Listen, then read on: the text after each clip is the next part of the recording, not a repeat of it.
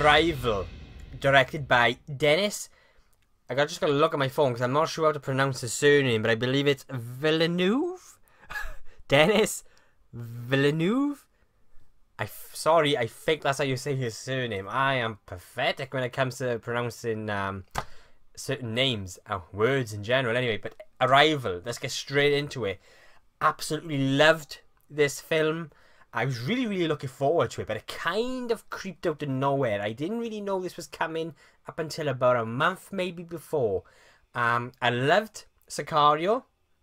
He's also attached, he, well, he is directing Blade Runner 2. Um, so I'm really, really excited about that. Uh, so yeah, we got Arrival. Um, right, if you go into this film expecting something sort of similar uh, um, to Independence Day, you are going to be disappointed. This is a spoiler-free review, so again, I'm not going to give anything away. But um, yeah, I really, really, really enjoyed this film.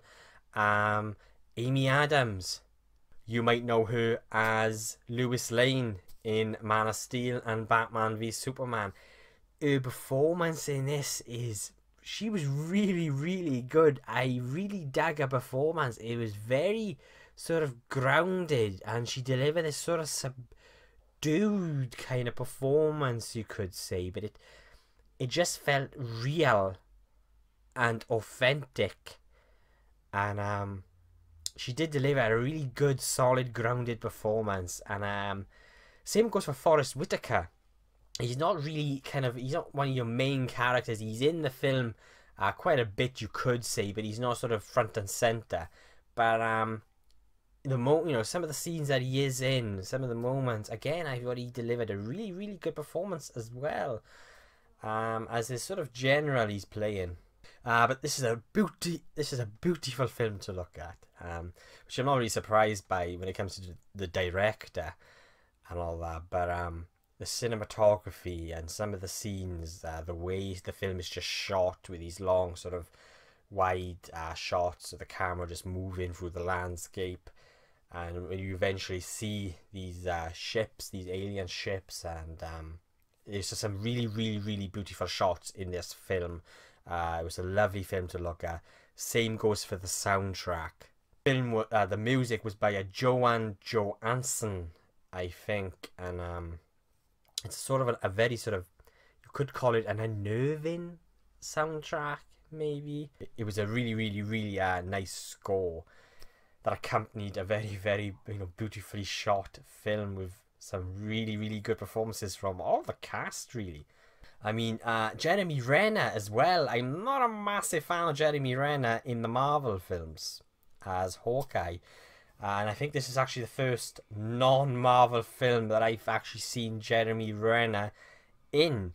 But um, I again I really like his performance in this film. Um, in in a way, he actually surprised me a little bit. Um, I also love how the aliens are sort of introduced into the film. It's done in this very sort of realistic uh, way, as if it's actually, you know, this is the, it's the way it would happen in reality. I mean, there's nothing really, really far out there. I mean, just the way these aliens are introduced, and um, with the ships, and you don't quite see the ships to begin with. You know the ships are there, you know, and the alarms are going off, and there's jets in the sky and you know this sort of threat, or is it a threat, is there, but um, you don't quite see it, and it's like it's, it's like oh, you know, you, you I found myself thinking, oh, where is it? Because you see in all these sort of uh, news videos, and um, you're looking for it. And I just love the way and how he introduced uh to you, uh, you, the audience, to actually first seeing these uh, space, uh, these ships.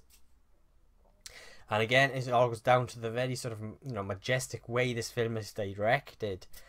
Um, even the moments where you could lose sort of a, you know a grip of reality, he still retains it just purely because of the way this film is directed and the way the film looks. And um, when you see, uh, you know, when you do see the aliens, um, or alien, um, when you do see it, it's like it doesn't kind of throw you out the film at all. And um, I kind of, you know, and, and that, that was great. I found it to be a very, very emotional uh, film.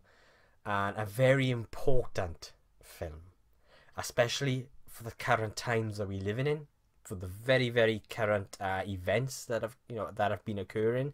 Uh, I, one comes to the top of my head, Trump uh, and America, and you know obviously that happened about a week before this film, before I seen the film, uh, before the film came out actually I think, and I watched this film and I was like wow, I mean there was some really strong, powerful messages in this film that all sort of uh, come to light it, as it unravels towards the end of the second act into the third act. I think I don't think they could have released this film at any other time. I think this was just the right time to release a film like this. Very, very uh so it does really make you think.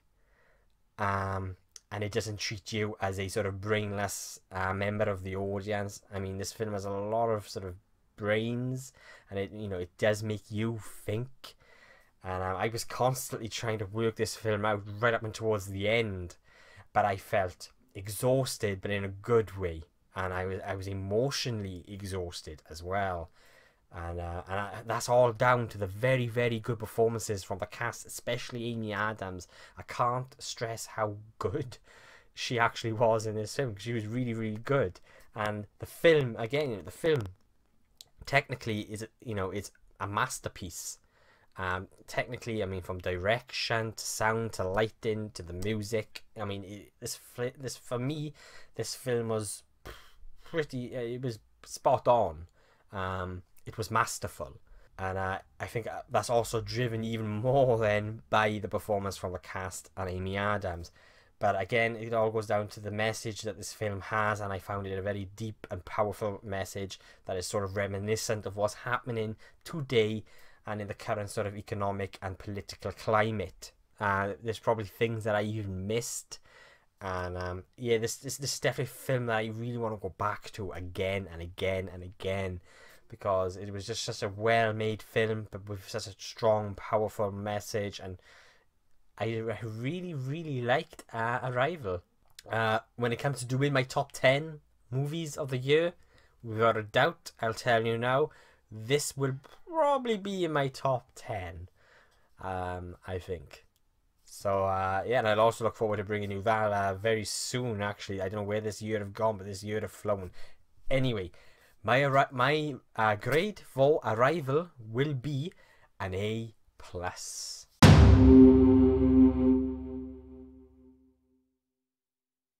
Yep. I highly recommend you see arrival. Don't go in thinking Independence Day. Um, you know, this is a film that makes you think and uh, doesn't treat you as you know as a sort of dumb audience member. I mean, it this is quite an intelligent film. So yeah, uh, very very very good film. I highly recommend it. Uh, just don't go in expecting Independence Day. Um, or that shower of shit that we had, which was the sequel to Independence Day, Resurgence.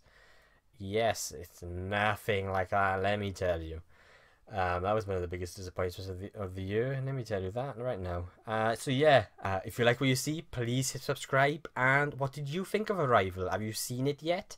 Um, let me know below uh, what you thought of uh, what I think is a very very good film. But I mean, maybe you disagree. Let me know below in the comments below. Uh, so yeah, uh, thank you again for watching, and I will be seeing you guys soon.